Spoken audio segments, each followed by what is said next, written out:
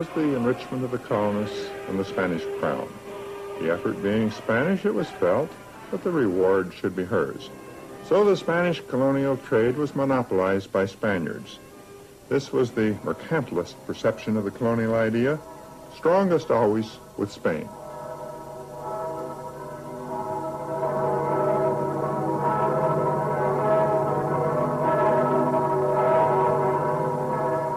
Until 1717, the headquarters for colonial administration was here in Seville. This great square building was built in 1598 as the Stock Exchange, and later as the Archivo General de Indias. It came to house the paper produced by the colonial bureaucracy.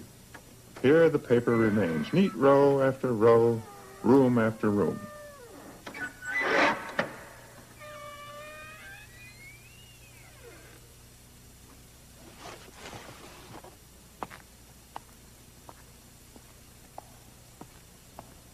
By 1700, some 400,000 regulations governing colonial affairs had been issued.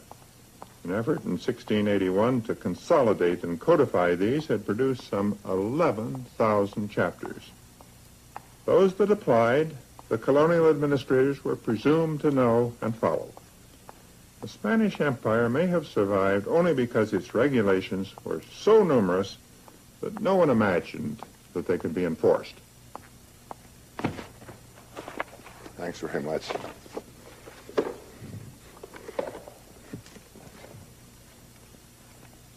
Some of the surviving paper is an absolute delight. Here is a letter from Columbus himself, dated the 5th of February, 1505. It's to his son, Diego, and it deals with various family, financial, and business affairs. This letter is from Cortez in 1526. He describes his voyage from Havana by way of San Juan to Mexico, and he warns that there are some very rebellious tendencies in the New World. This one is dated 1539, and it's from Francisco Pizarro to the Queen of Spain. Pizarro says he is sending her some emeralds, and he very thoughtfully asks that she acknowledged by receipt. Some authorities we saw earlier believe that Urban II launched the Crusades because he was attracted by the idea of having the Crusaders, whom many people thought a rather inconvenient set of ruffians, safely away from Europe and in the Holy Land. I think it's fair to say that any Spaniard who knew the Pizarro brothers well must have rejoiced at their being in Peru. These documents, this great pile of papers, tell their own tale about the eternal ways of bureaucracy. In 1654, as they tell, uh, one of the great cathedral churches of Mexico was badly in need of repairs and restoration. And permission was being sought to spend money to fix it up. Permission was still being sought 20 years later in 1672, and the matter was not disposed of for another 60 years.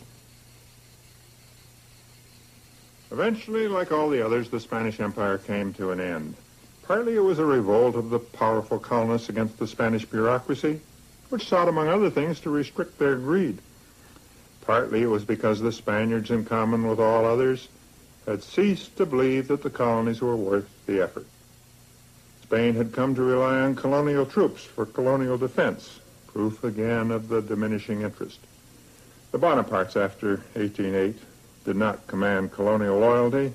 Why fight for a Corsican sovereign? Spanish decolonization, as was often the case, was in two stages. First came independence, power to those who had power in the colonies. Then, as in Mexico, Cuba, Peru, came the further revolt against those who had succeeded to power after the break with Spain, the great landlords, and also the foreigners in the church. This further revolution is one that still goes on. Spanish colonialism makes yet another point. The revolt, when it comes, will be against both the governing country and its colonial policy. The Spanish colonies were elaborately, meticulously governed, over-governed.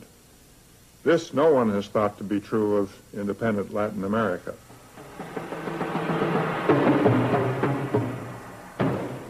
British colonialism, on the other hand, was informal, decentralized, relaxed, and the same was true of the colonial administration of the Dutch and in lesser measure that of the French. Until the last century, except for the special case of India, Britain didn't even have a central department for colonial affairs. This tradition, the British tradition, was far more open to the Smithian ideas which made both colonies and the colonists responsible for their own well-being. Colonial management in India was delegated, of course, to the East India Company, and this was its staff college at Haileybury near London. The company employed three of the great economists of the last century, Malthus, James Mill, and John Stuart Mill.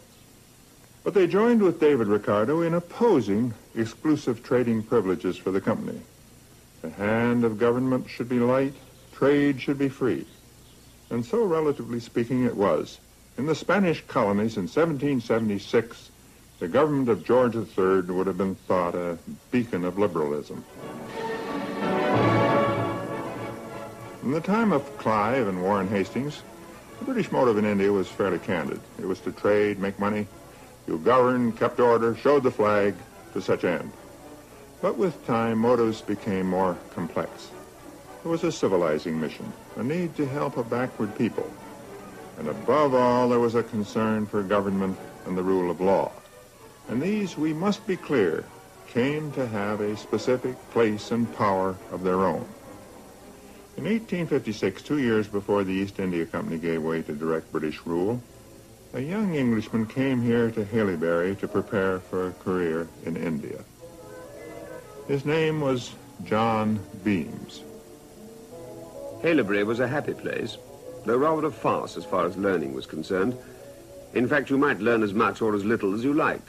But while the facilities for not learning were considerable, those for learning were in practice somewhat scanty.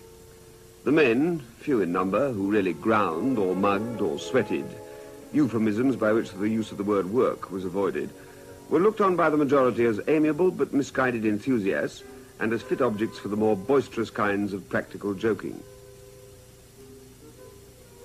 A good many of the men were sons of members of the Indian civil and military services. In spite of this, however, there was little or nothing in the tone of the place or in our habits indicative of our connection with that country. It's obvious that Haileybury did not turn out carefully disciplined bureaucrats in the Spanish mold, well versed in Indian affairs. The graduates were meant to cope with whatever problems might arise by drawing on a liberal education and common sense. However, one should also allow for the possibility that Haileybury had poor teachers and was badly run. No one should ever assume deep, recondite purposes when there is such a good and everyday explanation as that. It was considered bad form to talk about India or to allude to the fact that we were all going there soon. All we knew was that it was beastly hot and that there were niggers there and that it would be time enough to bother about it when you got there.